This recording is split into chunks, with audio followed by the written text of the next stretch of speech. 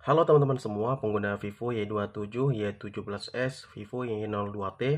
Di video kali ini saya akan memberikan cara mengganti tema di HP Vivo tersebut.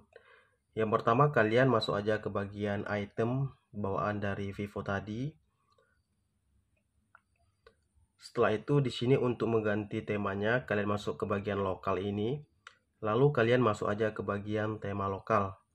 Setelah itu di sini kalian juga bisa mengganti temanya ya, seperti ini atau juga mengganti tema-tema berbayar menjadi gratis. Sebelumnya sudah saya share di channel ini.